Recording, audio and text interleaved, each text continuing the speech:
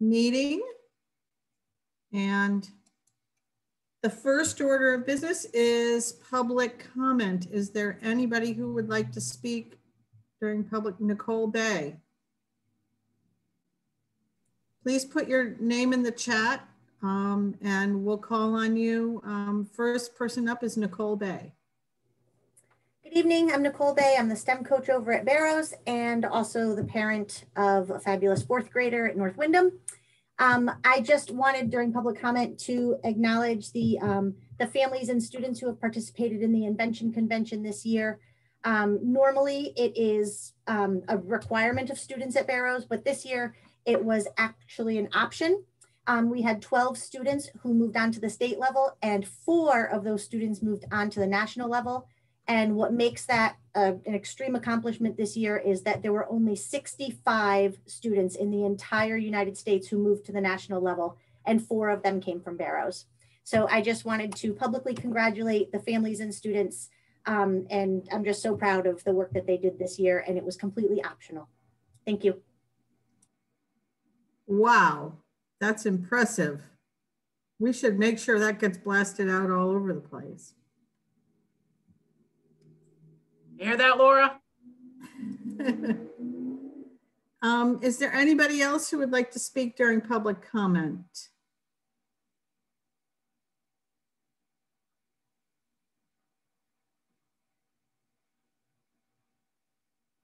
Okay.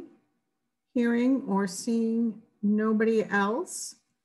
Um, I would entertain a motion for approval of the April 21st, 2021 minutes. So moved. Katina. Second. Seconded by Jaime, moved by Katina. Is there anybody who would like to make any adjustments or comments on those minutes?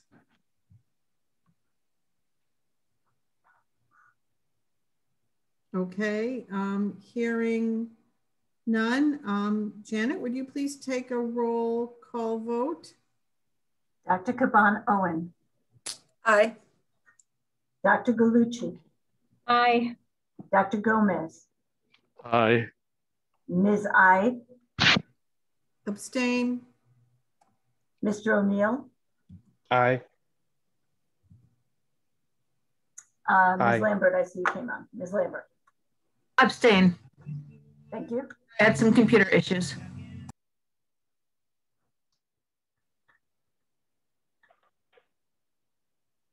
I don't believe Mr. Doyle or Ms. Haney are on the, or Ms. Ray are on the call.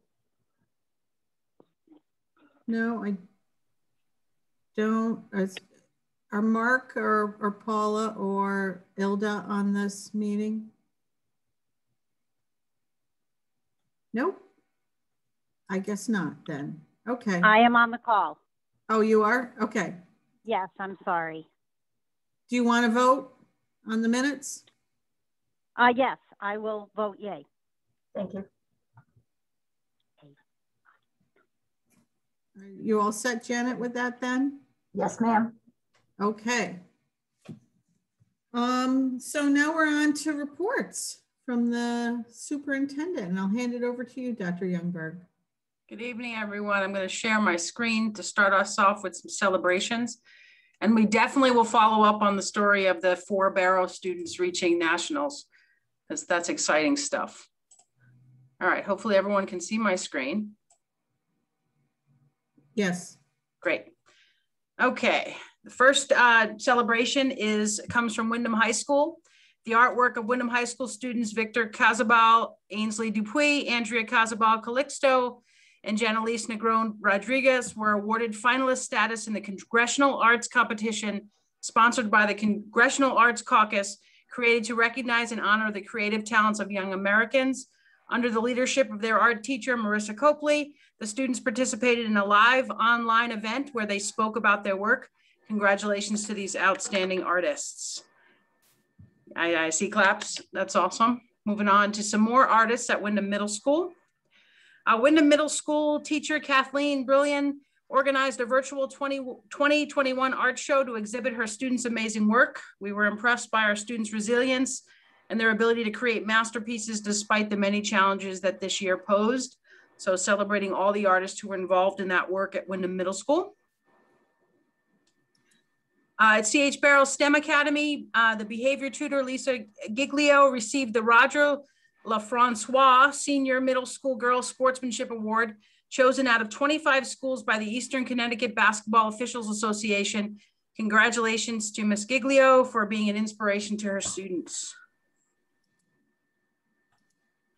And the pictures on the next slide uh, show us our ap appreciation for teachers during the week of May 3rd through the 7th, as well as the School Lunch Hero Day for our food services workers. Um, the district is grateful for the ways in which our teachers quickly made significant changes to their use of technology, delivery of instruction, classroom environment expectations, and their focus on social emotional learning.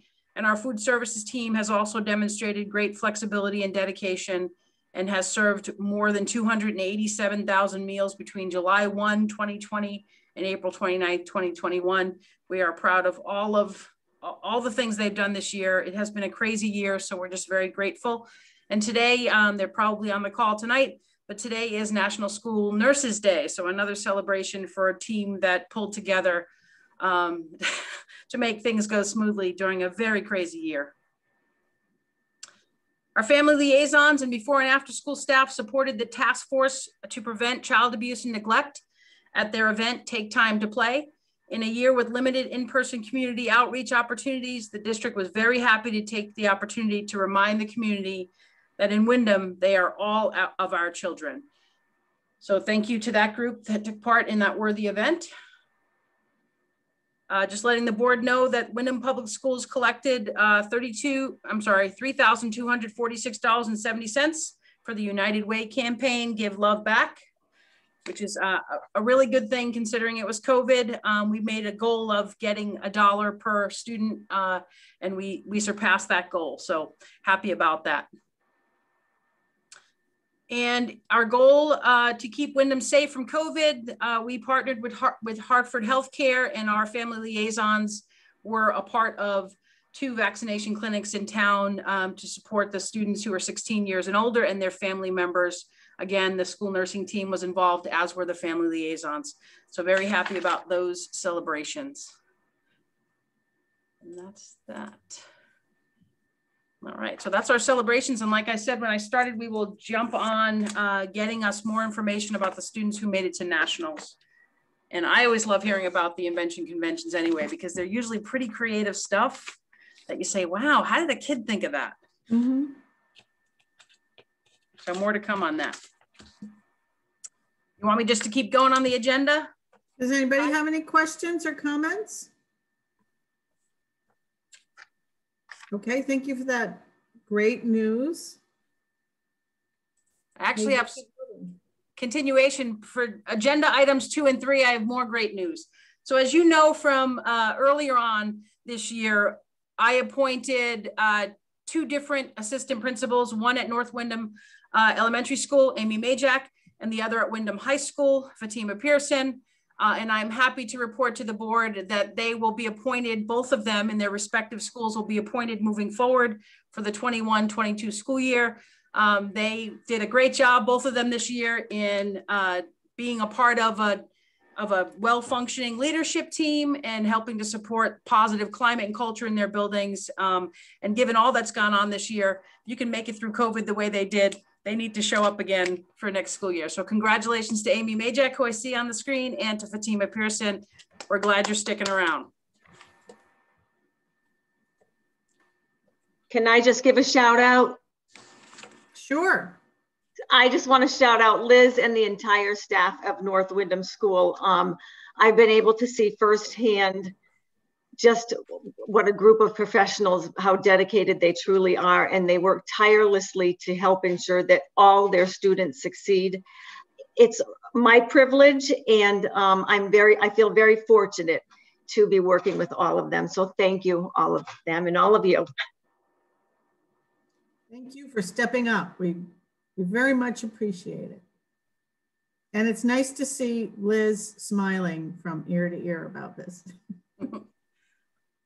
Fatima, do you want to jump in before we move on?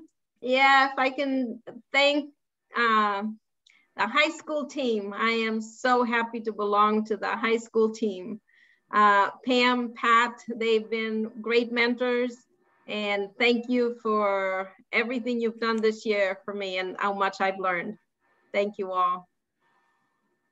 Good news all around. Thank there. you. All right. I see Pam there smiling from ear Yes. to ear also. So that's Everybody's good. very happy. They were, both principals were involved in the decision um, and happy to make it. So we're, we're in good shape. The whole idea of teamwork and sustainability, these are just examples of that. So. All right, number four on the agenda is an update on the end of year events. Uh, in the board packet, everyone received a chart that Janet was nice enough to put together. I will let you know that there's one minor change on that chart and that is the time of Windham Middle School's um, promotion ceremony is actually, it's been adjusted uh, to 4.30 p.m. Uh, and that adjustment was made because we learned that uh, Windham Tech had reached out to all of the local middle and high schools um, earlier on before we chose this date, the date of June 11th, uh, trying not to create a conflict uh, and the message was not delivered uh, in a timely manner to the principal when he chose this date. So we've made an adjustment so that there's no conflict with the Windham Tech uh, graduation ceremony. So again, June 11th on the Windham Middle School field, the promotion ceremony will start at 4.30 p.m., not 6.30. Everything else on there is accurate. I don't know if there's any questions or if the board members need any more information. Ehrenberg, if I may say, Lynn, if I may say, I think that's fabulous because there have been so many times in the past I've heard from parents that one school's graduation is at the same time. They have different kids graduating or siblings or um, cousins, aunts, whatever, you know, all graduating at the same time and they have to make choices. And so the fact that tech school took the initiative to reach out and that we responded so positively, that's impressive to me. Thank you. Um, we, if the message had been delivered in a timely manner, the way it was designed, we wouldn't even have had the conflict. But after we learned the way it all went down, we said we have to do something. They they went out of their way to make sure there wasn't a conflict. So that was our adjustment to the time. Uh, let's see. So no other questions on that. Any questions, board members?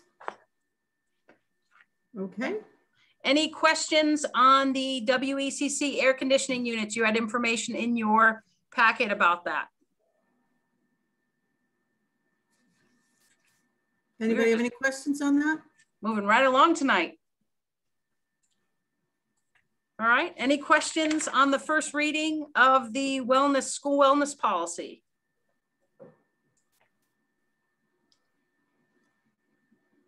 No, it looked pretty clear to me. I don't see any board members indicating they have any questions. This is the first reading, so we will take action at our next uh, meeting, but uh, right now. All right, okay. let me pull up this, my screen, excuse me, share my screen and get you the COVID update. Give me one second. I'll be so happy when this isn't a part of our regular agendas. Oh, you and me both.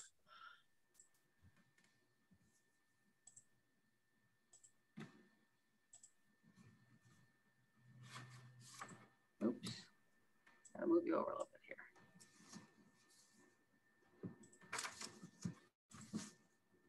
All right, hopefully everybody can see the screen. Everyone knows by now, we do this every two weeks. You know what the purpose of the update is. Uh, the first update I have for you is just to let you know that we're continuing our partnership with Hartford Healthcare. Uh, while they won't be offering any more closed clinics, and that's a good thing, the reason why they're not doing any more closed clinics is there's enough vaccine to go around, and there's many locations where people can get the vaccine. But we are moving to the next phase. Um, they have provided us, uh, starting as early as tomorrow, um, the opportunity for our 12 to 15 year old students to get vaccinated. Actually, it sounds like there's going to be vaccine available not only at Hartford Healthcare, but any of our local pharmacies all throughout the state. Um, so, but we're continuing our partnership there, uh, and anyone uh, in the district who get who would like to have their 12 to 15 year old uh, children vaccinated, they must be present at the vaccination, and we will be the district will be sending out information about what Hartford Healthcare is offering. It's all walk-in, no appointment necessary. Um, that's the way they're doing it from for this next phase. So good to know we still have our partners in the, on the healthcare side. Uh, this is the usual check-in. Uh, we are currently have a case rate of 20.5, which puts Windham at 22nd out of 169 school districts. We are still not in the top 10. Um, and you can see that uh, many of the case rates across the state have dropped since our last report on April 21st. Um, so things are looking better. And if you look at the, the colorful chart that the, that the state puts out for us every couple weeks, we have far more uh, towns across the state coming out of the red and moving into orange and even gray at this point. So um, hope to see Windham get to the gray soon. This is our data uh, to date as of 3.15 this afternoon. We have one staff member in quarantine. We have 15 students in quarantine or isolation. Um, we've had a total of 75 positive staff cases since September and a total of 336 positive student cases, which happens to be the exact same percentage, 10.4% of our total enrollment there. And our amazing COVID warrior school nurses have resolved 388 staff cases, that you know that's all the quarantines and isolations and all that and 1055 student cases so they are an amazing team uh, uh, we're happy to report that since may 1st we have only had one positive case reported. So we've seen a drastic decline in positive cases and it's it's a really good thing. Um, we're spending our energy on in other places and not on covid. So that's a really good thing. I hope it continues. We have had no new compliance COVID compliance feedback to offer, still the same as it was last time we reported out. Uh, this is just uh, a quick calendar check-in. We're at the 12th here, uh, early dismissal, the last one. Then we have four weeks of regular school days and an early dismissal for the end of the school year. We have asked the families to make a decision between May 17th and June 16th to choose either full in-person or full virtual. Uh, we have many students that are sort of going in between on a day-to-day basis and it's very disruptive. So we've asked them to make a choice uh, for the last month or so of school. I hope that's not going to be a problem. It's something that most of the districts have been doing because it is highly disruptive to have kids showing up on some days and then showing up virtual on other days. And we just need to know what to expect in the classrooms. Uh, as the board members know, uh, the state put out interim guidance about the 2021 school year and the fact that they will not be mandating school systems offer uh, full remote learning. And I know there's a piece of our, there's a possible action item on our agenda tonight to discuss that. Uh, the district obviously wants to continue to use technology to support student acceleration. We know it can be highly engaging to students. It can help with mastering standards and credit attainment. We know that there may be an opportunity to use technology on snow days or if there's quarantines moving forward in the future or some other potential emergency. Um, but the district is not going to be required to offer full remote learning next year. And I think that's a really good thing. Um, again, the teachers this year did both the full, the in-person learning and the virtual learning simultaneously. And it was, it's too much. It's definitely too much to continue. And I'm happy that the state has made this determination. Uh, on Monday morning, the superintendents went to a webinar about the American Rescue Plan, the ESSER 3 funds. Uh, on the screen are the buckets, uh, the priorities that the state is telling us all the monies must be spent within. They've the, the first, the top four buckets were exactly or very similar to what was requested in ESSER 2. And then they added an additional bucket at the bottom there. So the, these are all the places where the ESSER 3 funds need to be spent. And I'm just going to give the board a little more information about this. There'll be much more coming, um, but this is the timeline that they provided. So next week, we are going to receive from the State Department of Ed the assurance of the money that's coming to the district. We have to do um, something on our end to accept the, those funds. Uh, and at that point, on May 24th, the application will open up. Um, the State Department of Ed actually has an application they have to submit to the US Department of Education. Um, and so the district is doing work on this, as is the State Department, and we're all sort of going to come together at some point later in the summer. Um, the district must produce a safe return to in-person instruction plan by June 23rd. um, and it needs to be revised every six months straight through September of 2023. Uh, so you'll be hearing much more about this from me. Um, we also have to work to complete the application for ESSER 3. And in that application, we have to provide proof that we've given opportunity for the for the public, for all of our stakeholders, which includes the board, um, and all of our parents and community members and partners. Um, we have to give the opportunity for all of our stakeholders to offer their input, provide feedback on how they believe the money should be spent within the parameters of the of the uh, of the grant. So I will be providing a plan shortly about how we're going to go about doing that. We're going to do multiple um, we're going to we're going to provide multiple ways for people to offer that feedback some virtual some in person some through a digital database um, so that we have proof that we've asked and listened to what people think uh, would be a good use of the monies. And all of the ESSER 3 funds when we get them will need to be spent by September 30th of 2024 so much more on ESSER 3 to come but I wanted to give you a quick little update I don't know if there's any questions about COVID or anything that's going on um, that I can help you with. Do board members have any questions? That's a lot of work around the ESSER um, money. It's a lot of work. It, it, I mean, it's a lot of money, so we have to be grateful for the opportunity, but it, there's a lot they're expecting from the school system, Mm -hmm. all of the school systems.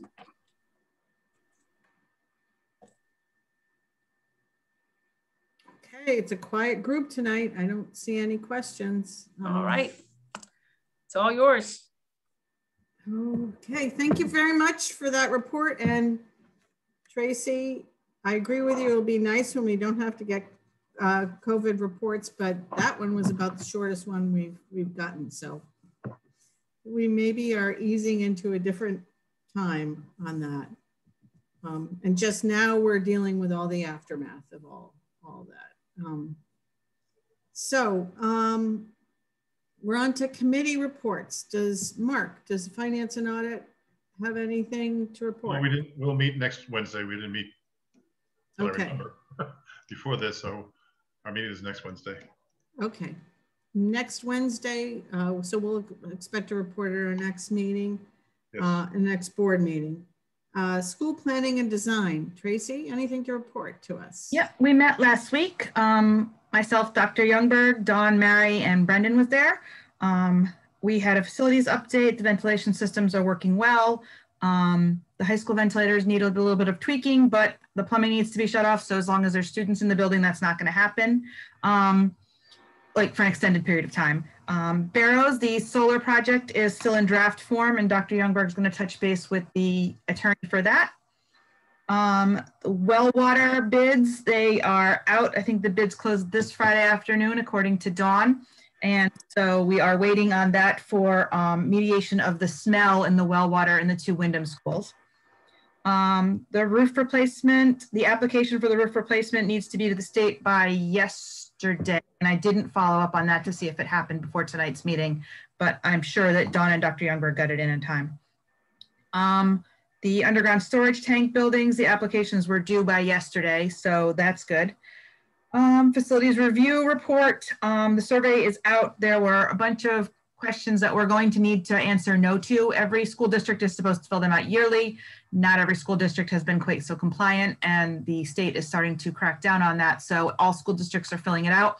Um, Dr. Youngberg reached out to Michelle Dixon and she said, don't worry about your nose. There are a lot of no's on different things. Um, it covers all the facilities and all the buildings and she has to do an individual report on each. So this is like a leaping off point for that project, for that program now, for that report. And every year we hope to see once we refile the report every year, we get a better grade on it. Um, start off, you know, where we can and then go from there. And it'll be a good way, I think, for us to justify to the town some of our building projects and our construction needs um, going forward is to be able to say, you know, we filed this with the state and for five years now, we've said we need to have this done or something. And, you know, they're going to start taking notice of this. So maybe getting ahead of our construction projects going forward.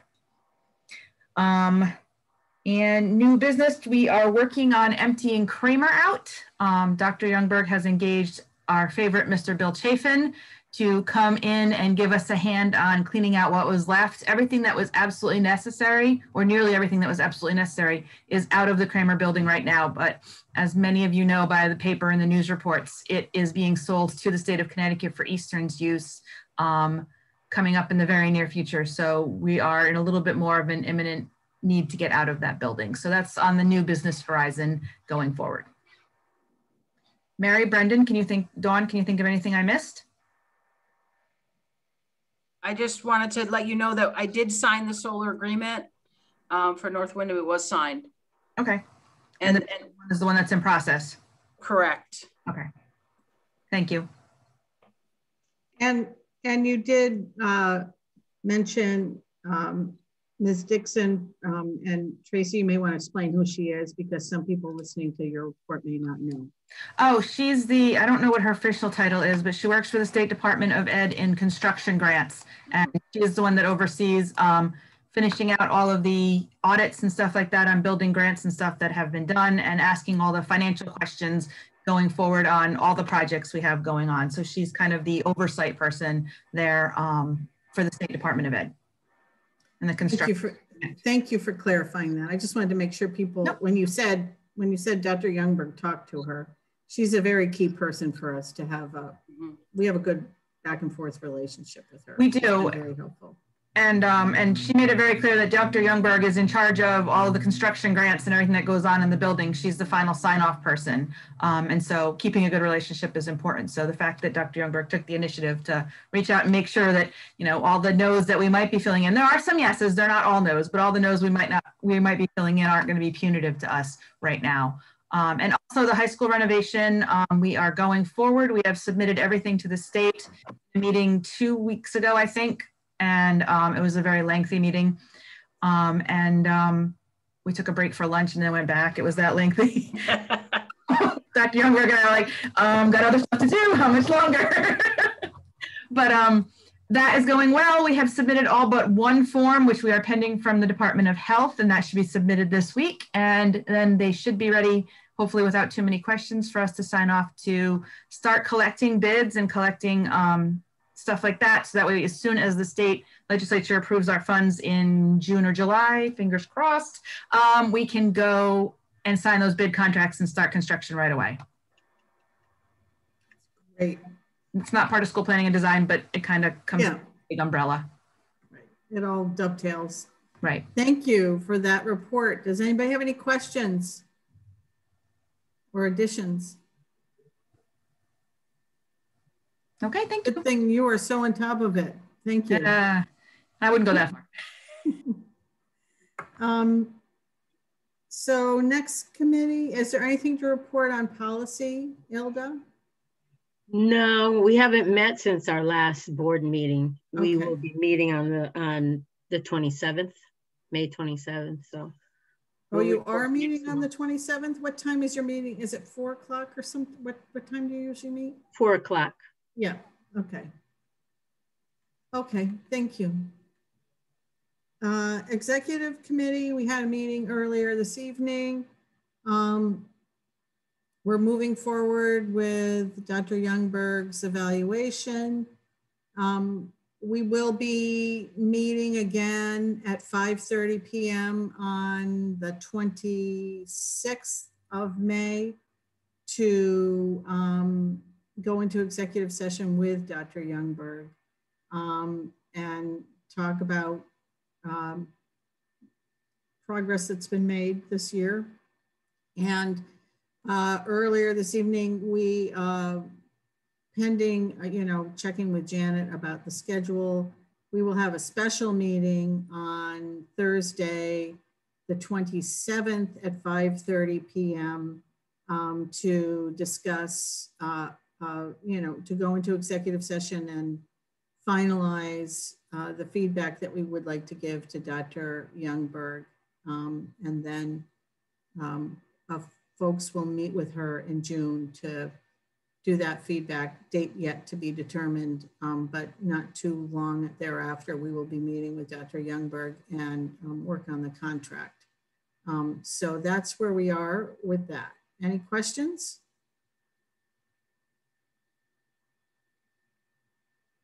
Okay, um, I just do want to make sure that board members do know, um, that, that, that there is that meeting with Dr. Youngberg on the 26th at 5:30 and a meeting on the 27th at 5:30. So please mark your calendars accordingly. Um, I also just can't resist mentioning that the budget referendum is coming up on uh, the 18th, which is next Tuesday from 6 a.m. to 8 p.m. People can vote in person and uh, absentee ballots are available in uh, if people request them and or go down to town hall.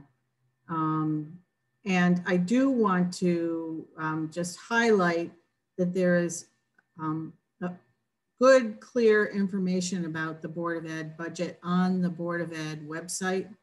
And if anybody has any questions or the members of the public want to know more about the budget, we should all be referring them to that site so they can get that information. Um, encourage everybody to go vote, please. Anybody have any questions about that or comments? Okay, um, and then now the last committee report is Ad hoc Elementary School Consolidation Committee. Paul, is there anything you'd like to share with us?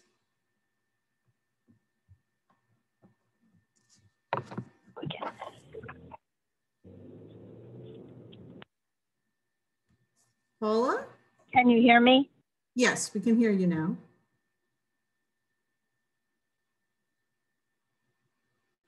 Are you able to hear me? Yes, we can hear you now. Oh, okay. I'm so sorry. It's Uh, okay. It's been a crazy day. um, our committee met on uh, April 27th and started out with um, Bob Roach from Friars uh, just giving us um, the uh, notification that he'll be verifying square footage. Uh, he'll be doing some walkthroughs of all the schools. Um, he was going to, I believe, uh, start arranging that with Dawn um, and just being able to compare what he's seeing now to what the former school assessment looked like uh, with regard to capacity and square footage. Um, Mr. Weathers gave us a report on class size. Uh, we were told again that there was no policy on class size, but that you, Dr. Youngberg was going to be meeting uh, with a committee to uh, look at establishing some guidelines uh, with the possibility of K through two having an 18 student max, um, grade three, a 22 max, and grades four to five, 22 max, but that's going to be discussion with um, her committee. The, we also talked about doing visitations, and at this point, the members of the committee should have received an email uh, from Janet, uh, through Janet from me, uh, that perhaps we could arrange meetings at four o'clock in the afternoon. I have been in the process of getting in touch with principals of the elementary schools, and uh, I will also seek the middle school to arrange walkthroughs. Um, there were many questions regarding class size. Is a class size in one school basically going to um, manage the same amount of students in a class in another school? So those are the kind of things we want to look at. Uh, the condition of portables and the need for portables. Um, someone asked the question, is it still uh, possible for the fifth grade to return to the middle school? Um, so these are all questions that we're going to be looking at. Um, I believe that next Tuesday, if our principal at North Windham School is still uh, available, we're looking at our first visitation next Tuesday um, at four o'clock at North Windham School. Um, she had told us during the meeting that any type of increasing the size of the um, of her school could impact bus access, parking, and those outdoor kinds of arrangements there. Um, and I think that's about it, unless anyone has any questions. Does anybody on the board have any questions? I have a question, Paula. Sure. Um, if there are people who are not on the committee but are Board of Ed members who would like to go to those school visits, are they able to do so?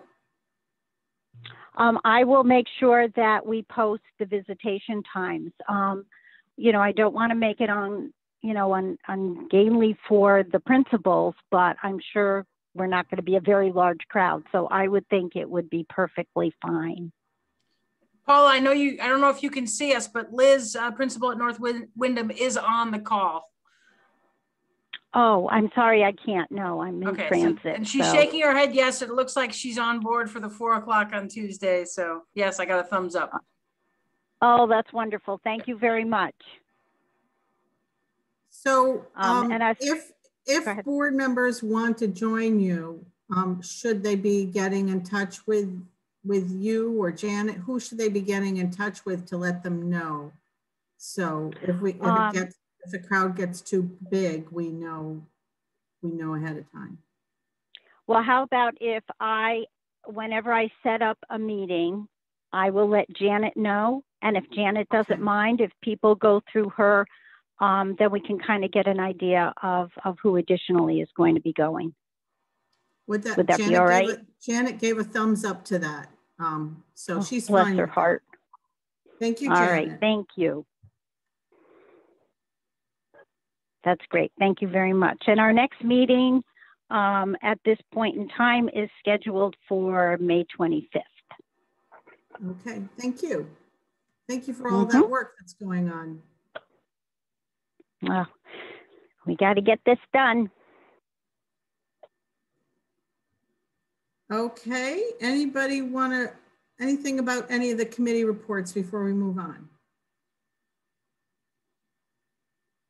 Okay, uh, so the, the next item is an action item. Um, I'd entertain a motion on possible action regarding in- implementation of an in-person learning program, and then we'll have to read the actual motion out loud because there's been a suggested change to it since it was Yeah. um, sent out to us This is earlier. Katina. Yeah, This is go ahead, Katina. I'll, mo- I'll move it and um, one second I can read the recommendation. Okay. Anybody So second? Katina's making the motion and she's going to read the motion out loud and then we'll have a second. Go ahead, Katina. Okay. Um, it is recommended that the Windham Board of Education direct the administration to implement an in-person learning program without a full remote learning option for the 2021-2022 school year unless required by the state of Connecticut or if deemed necessary by the Windham Board of Education. So, and Thank Ilda seconded that? All of what she said. Okay. So the additional word there is full. Oh.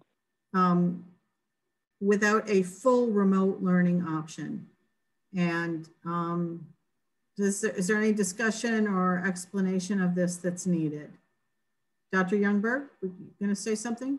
Sure. Um, there are many local boards making a similar recommendation and voting on a similar uh, piece since the state put out the interim guidance. Um, the, the word full has been placed in there to make sure that we're talking about the fact that we're not offering a full remote learning option next school year, but we still want the ability to potentially use technology and remote learning for temporary situations like snow days or quarantines or other emergencies, but we will not be offering a full remote learning option. So that's the difference. That's why we put in the word full. Any questions, comments from the board? This is Tracy. Go ahead. I would just like to encourage Dr. Youngberg um, to give them one or two snow days if we possibly can. I can remember being a child and so enjoying getting up in the morning. I mean, it was a very long time ago, you know, when we rode on but not as long Mark. That's okay.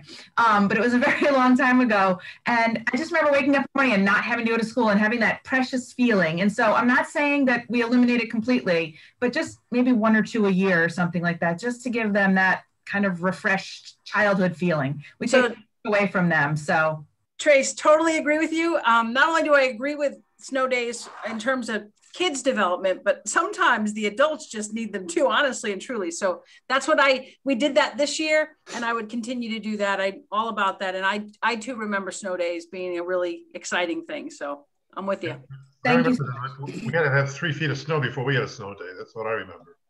that's because you had to Also walk both ways.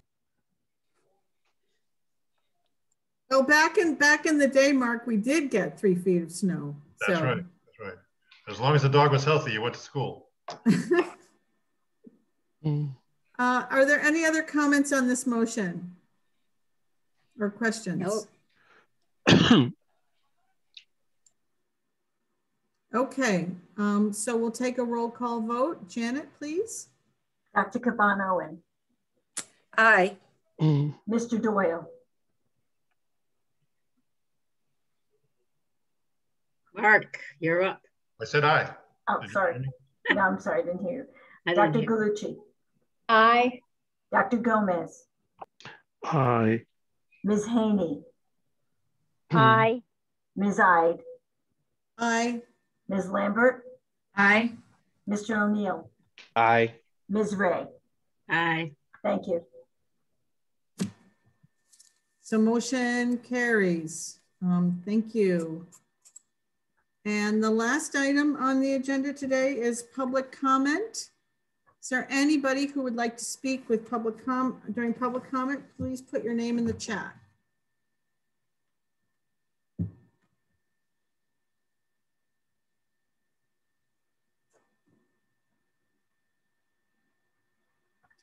Seeing none, I'm not hearing any, Mark, yes? Well, it's, more of a future agenda item, if you will, but I'll put it on in the public comment section. Uh, I'm just wondering if, at, at, in a future meeting, if uh, Dr. Youngberg can give us an idea of how many seniors are or are not graduating due to the uh, COVID problems or lack of credit. I'm just curious how it's impacted our graduating class. I don't need the answer tonight, but at some point in the future. Thank you. So noted. I see Dr. Youngberg nodding her head. We Um, can actually absolutely get you that information for the next board meeting. And I know Windham High School teachers are actually working hard now to offer uh, tutoring services to try to get the kids that are real close across the finish line. So we'll, we'll get you this specific data for the next board meeting. Uh, in the same vein, I would like to add um, how how is attendance in general, and um, are there how, how many reports for um, to the Department of Children and Families? If you know, have we found families um, that were missing? Also, see three different things. Okay, I'll give you an update on attendance. I can tell you that since we came back full in person five days, we have seen an increase in uh, in attend in student attendance, which is really exciting news. But we'll give you an update. Thank you. Okay. So noted. Anything else? Any comments? Okay. Hearing and seeing none, I'll entertain a motion to adjourn at 7:44. I move, we move. Second. Motion been made and seconded. We're adjourning at 7:44. Impressive. Thank Good you. Have a good Good night, night. everybody. Good night. Good night. Good night, all. Good night, Good everyone. night. Good night. Good night.